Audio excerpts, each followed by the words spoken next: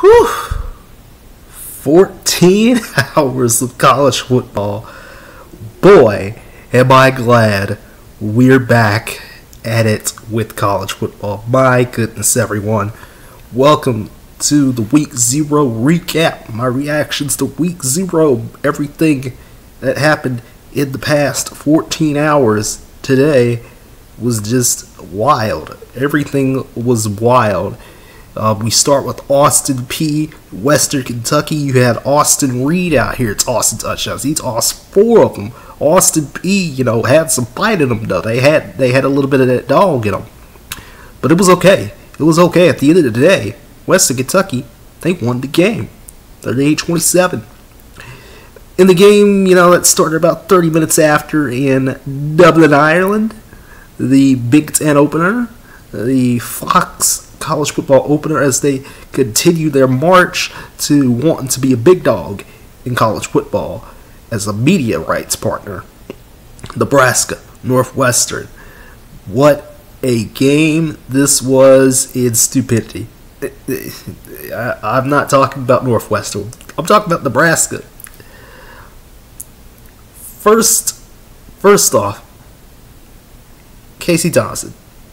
He did all right out there. I'm not gonna I'm not gonna lie to you. He did all right. He did all right, but the same things he did at Texas came rearing back like it was yesterday, and the memories started pouring in for me as I just looked on and I looked in despair and disgust at what in the world was happening.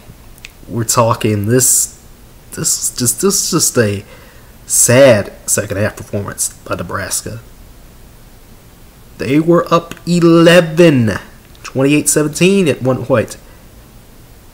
And then you had Ryan Hilinski, Evan Hull, and a Northwestern offense run it down Nebraska's throat, continue to gain yard after yard through the air and on the ground, mostly on the ground, and Northwestern was able to overcome an 11 point Nebraska lead and they win this game.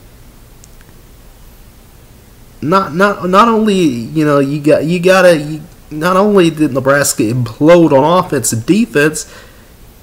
Again, Scott Frost with the dumbest decision, the college coaches moment. Hashtag college coaches moment of the day. You go for an onside kick up 11 in the third quarter. Why would you do that? Come on. I can't call it the college kickers moment because I mean that's not the fault of the kicker this time. This is a this is a purely hashtag college kickers moment, or rather college coaches moment. Excuse me, I almost said college kickers, but you know what I meant. Speaking of college kickers, let's just get it out of the way right now. College kickers, hashtag college kickers. All of y'all let me down once again today. Every single game probably had a missed kick at some point everybody continues to let me down in hashtag college kickers, baby. But Nebraska, again, this team has some fight in them. They have that fight in them, but they just couldn't get out of their own way. And it's another one score loss for Scott Frost, as he's what five and twenty one now in these types of games. This this is not okay. This is not going to get you the job done. This is not going to get you anywhere, my boy. So something's got to improve because uh, Oklahoma's coming. Oklahoma is coming for Nebraska and the rest of the Big Ten. And the rest of that schedule. I mean, again, the Big Ten and Oklahoma, you know, the rest of the Big Ten games and Oklahoma coming up for Nebraska. The Northwestern got to be feeling real good about themselves right now. Again, the Big Ten West is a dogfight. It's going to be a dogfight. I'll tell you that much right now. I really, I genuinely do not know who's going to come out of the Big Ten West. I couldn't tell you. I, that's why I don't do I don't, I don't do predictions like that. Like, you know. But Northwestern with great momentum to start the season. Good job by the Wildcats. Idaho State UNLV, real quick. Doug Brumfield was out here putting up putting up points. Four TDs. He tossed the 50 burger. Uh, we thought UNLV was going to have the highest point total of the day. They had 52. They put up 52 on Idaho State, and even got the turnover slot machine out there. What what do you mean a turnover slot machine? That was not the only thing. There was a turnover Triton, you know, as well during you know another game, but the slot machine was the highlight of the day for real. Um, FCS kickoff. Technically, Jacksonville State is not an FCS team anymore. They're a transition, but that didn't matter. That did not matter, and you know as the day continued to progress, the later games, um, lightning became a huge, huge factor. And you know, the first half, you know, this game, Stephen F. Austin, Jacksonville State, you know, this game was back and forth for the first half, but ultimately that spread offense, you know, and I mean, it just overwhelmed Stephen F. Austin. That is not a good look to start the season. They got blown out. The game got called late, and this is not the only game that got called due to lightning. We'll talk about that game in a moment, but that again, um, for the purposes of the whack, Jacksonville State really isn't going to count, you know, against you or for you, and you know, against you now, Stephen F. Austin, you guys got a tough schedule ahead. You guys, you know, Sam Houston, even though technically Sam Houston's also moving up and their games, you know, uh, I don't know what in the world the WAC and the ASUN did, you know, with their partnership again this year. They didn't, they didn't, they've done something to where you know this such and such counts for such and such, and then such and such, you know, counts for something else. But that's that's all up in smoke now. Stephen F. Austin has to win they were projected to be the team that comes out of the WAC to represent the WAC in the FCS playoffs, and they did not look like that team that I was talking about in the Week Zero preview on Wednesday night. They did not look like that team Wednesday night. They, or tonight. I almost said today, this afternoon. I meant, damn. Uh, Stephen F. Austin, not a good look. I'll tell you that much right now. Not a good look. UConn, Utah State. Now, now, now, don't get me wrong. Don't get me wrong. Utah State was not looking good at first. Like, what is going on here? Like, why is UConn leading? I was sitting here completely in shock. I was sitting here completely flabbergasted. Like, what do you mean UConn is leading? What do you mean Jim Mora has the UConn Huskies leading? But then Logan Bonner, he found his groove. The Aggies, you know, with three takeaways Logan Bonner throws three touchdowns to three different receivers. And then, boom, Utah State able to put a damper, you know, on UConn's new head coach debut in Jim Mora. Fortunately for UConn, it only gets tougher from here. Michigan is coming, you know, coming for that rabbit. Coming for that rabbit in what a week or two. So that it could get ugly in the big house. It could get ugly. It could get ugly. Um, Wyoming, Illinois. It was also an ugly game. I didn't have this game on very long. Chase Brown and those Illini, they bullied the Cowboys on the ground. 260 yards rushing. When is Craig Bohl actually going to get something going for Wyoming? I question what's going to happen.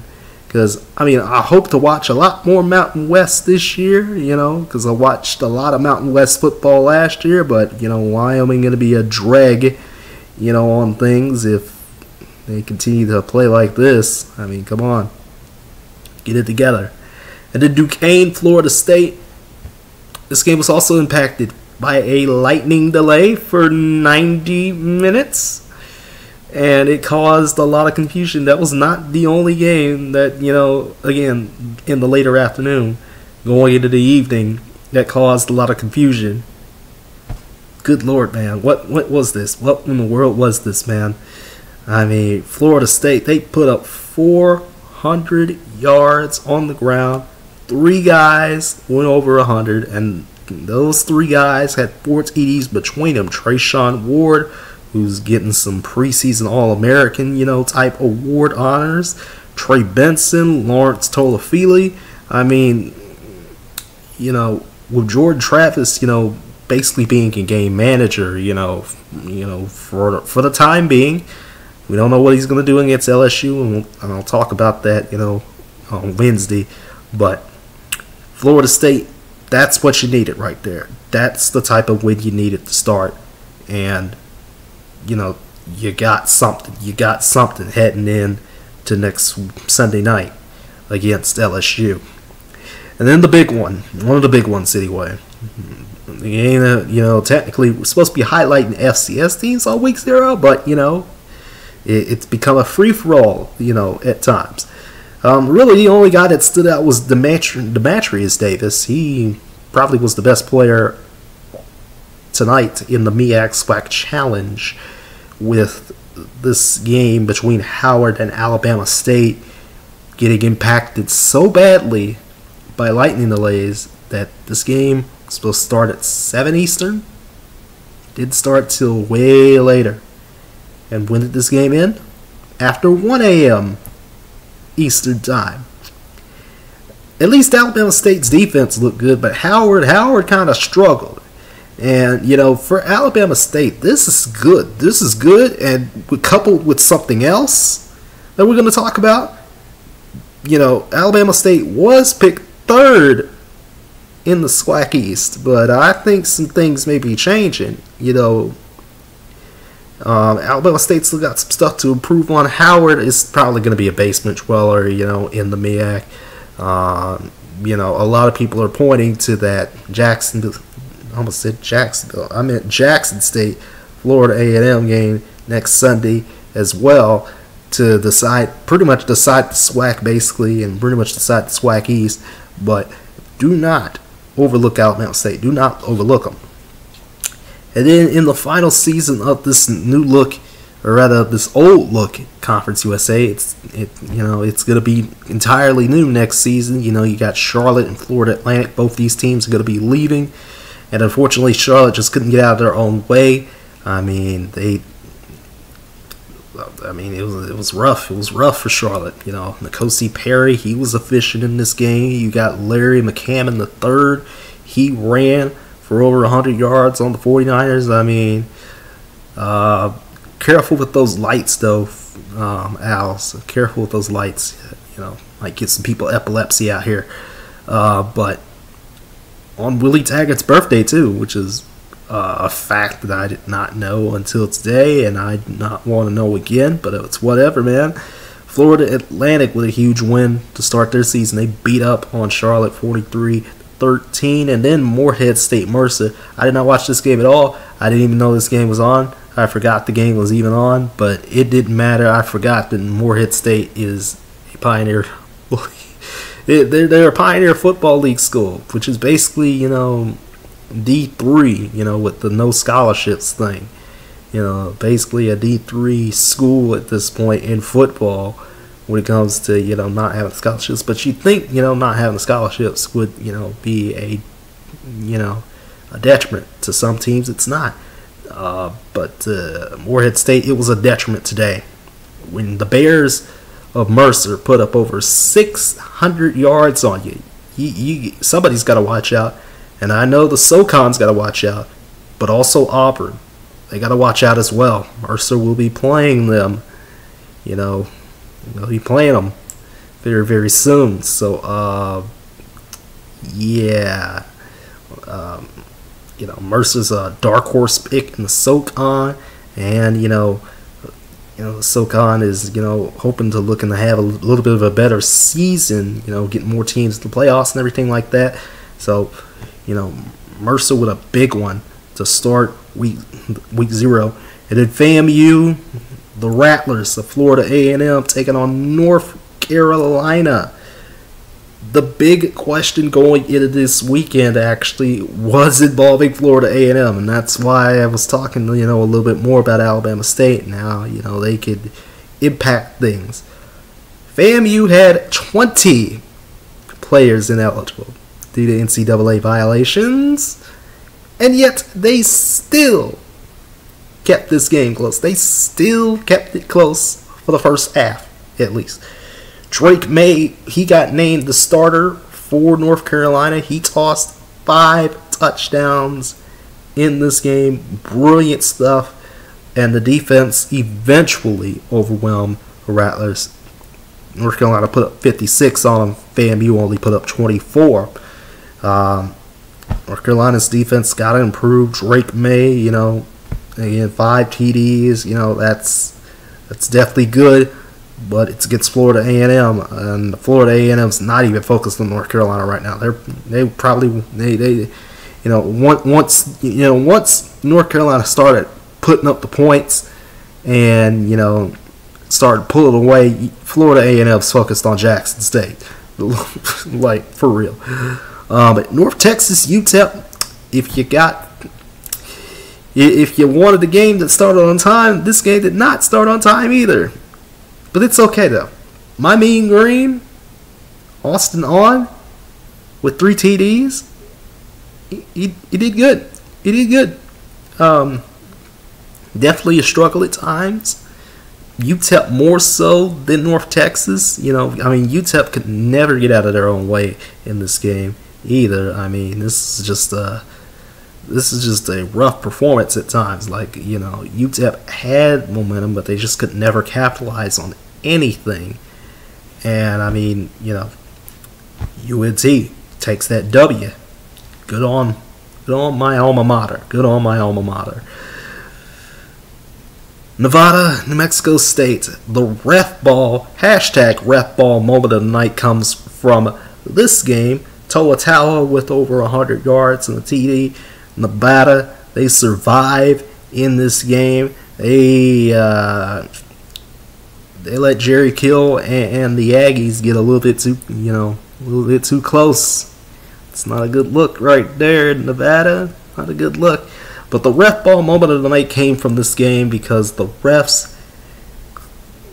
I don't know what in the world they were thinking because you know they never reviewed a call you know, that was supposed to be an interception. It should have been an interception. They called it a drop. Didn't look at it, despite the fact that Mexico State called the timeout to have them look at it. Nobody, nobody did anything. Nobody did anything. Why? Why? That's stupid. Somebody do something. You gotta be kidding me, bruh. Come on. It's it's a, it's a clear interception and they didn't do anything about it. Like, why? Why, man? I don't understand. I really don't. It's whatever. 23-12, you know, Nevada, you know, they did they did okay. They did okay. It's okay. It's not much, but it's something. They win. You know, Mount West had a pretty decent showing in week 1. Sans Wyoming, of course, but you know, Nevada with a win. Oh wait, I forgot one. Vanderbilt, Hawaii, the game that just ended before I started recording tonight. Mike Wright, four TDs, two on the ground, two passing. Vanderbilt's defense was out here forcing fumbles. They forced two fumbles. Hawaii never got anything going decent. I mean, this is just you know, they, they started out with a 7 0 lead, and then, you know, reality set in as Vanderbilt put up 63 points on Hawaii. What do you mean Vanderbilt put up 63 points? I'm surprised that Vanderbilt just ran all over Hawaii the way they did. You know, you know, a lot of people picked Vanderbilt as a six and a half point favorite, and that did not happen which is why you don't bet with money, kids. But this game was just bizarre to me to see Vanderbilt dominate a team after their opener last year against the um, against a certain you know SoCon team named East Tennessee State, you know, in which they got whooped twenty three to three. But Hawaii, you know, Timmy Chang trying to rebuild, use multiple quarterbacks in this game, which is never a recipe for, you know, starting out good. It's always a recipe for disaster, I think, in my opinion. And we'll talk about that on Wednesday with another team that we have to talk about that people are hyping up. Um, but Vanderbilt, what a great start to their season. You know, whoever that one guy is that picked Vanderbilt to win the SEC East keep on hoping, keep on hoping, because I mean that that's a damn good start right there. That's a damn good start. So, again, after 14 hours of you know college football, I can safely say we're back. the months the next six months on this channel are gonna finally be normal again.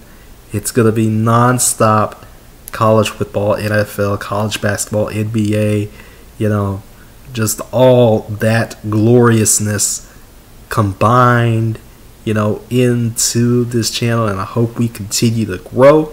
You know, that there should be some growth. Hopefully y'all stick around for more than 40 seconds during a video. You know, and you know, and I'm sure there's like a you know, I'm sure there's like a thing that says you know who's subscribed, that's watching, who's not. I'm pretty sure the majority of y'all ain't subscribed. Y'all need to do that so we can get to discussing some of that sweet, sweet college football. You know, what did you think of week zero? Um, best impressions, worst impressions, what you think, you know, you think Scott Frost is going to get fired? I think he'll get fired eventually, probably at the end of the season when, you know, that buyout ain't worth nothing. Um, what did you think of, you know, the FCS kickoff and the MEAC SWAC Challenge? These focus, the, really the games that we're supposed to be focused on for week zero, but, you know, the FBS has started to invade, you know, on the FCS's um, week, you know, because you know it is what it is. Um, what did you think of the other games? You know, did you think, you know, what, what you know, like, come on, what, what do you think about tonight? Uh, because I mean, there was a lot of stuff tonight, a lot, a lot of stuff that happened, and until Wednesday, probably Wednesday night, just be just be wary of that. Uh, I am returning to my job this week full time, and hopefully getting hopefully getting it together. You know, um, until you know